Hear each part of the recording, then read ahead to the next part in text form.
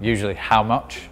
um, but of course it's making sure we choose the most cost effective system for the project, making sure it's of high quality and does all the loadings uh, required on the job.